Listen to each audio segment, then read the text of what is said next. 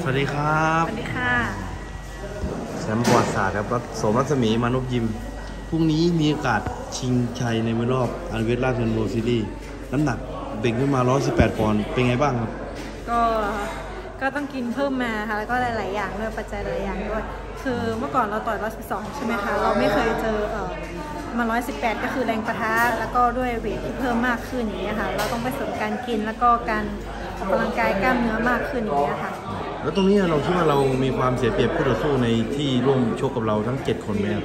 เราอาจจะเสียเปรียบตรงที่ว่าหนูยังไม่เคยต่อยเวทีที่ใหญ่ใหญ่ใหญ่เท่านี้มาก่อนอย่างเงี้ยค่ะ แต่ว่าเรื่องการฟิตฟิตซ้อมหรือการอะไรหนูเต็มที่ค่ะอืมแต่ว่ารูปร่างเราก็ดูว่าไม่ได้เสียเปรียบใครเลยในในนักมวยที่ชกมวยรอบนี้ ใช่ค่ะดูว่าเหมือนจะสูงกว่าใครเพื่อนเลย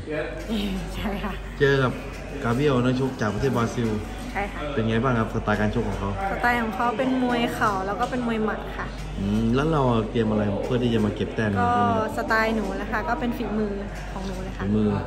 หลักๆเลยที่เตรียมมาก็ฝีมือ ใช่ค่ะ แล้วอาวุธไหนของคู่ชกกับที่เขาสร้างความกดดันให้กับเรา น่าจะเป็นหมัดของเขาค่ะอืมหมัดของเขาที่ว่าที่เรากังวลกดดันมา แล้วเราได้แก้เกมวางแผนยังไงบ้างครับ ก็แก้เกมโดยการเราด้วยเราที่รูปร่างได้เปรียบกว่าก็คือเราสูงใช่ไหมคะ แล้วก็พยายามที่จะเล่นวงวงนอกแล้วก็ยาวๆเอาอย่างเงี้ยค่ะ ก็คือวางแข้งซ้ายยาวใช่ๆตามค่ะเกมที่เราถนัดเลยใช่ค่ะ คิดว่าเขาจะเดินมาต่อยหมัดหรือว่ามีโอกาสโดนแข้งหยุดได้ไหม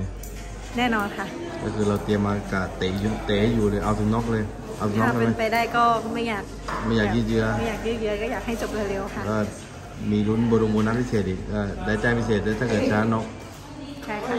ฝากถึงแฟนๆที่รอติดตามเชียร์เราในวันพรุ่งนี้หน่อยครับ ก็ขอบคุณนะคะที่เชียร์เชียร์พึ่งมาตลอดนะคะหรือว่าสมรัศมีมานุยิมนะคะ ก็ฝากเชียร์พึ่งในวันพรุ่งนี้ด้วยค่ะ เป็นนัดเป็นนัดแรกใน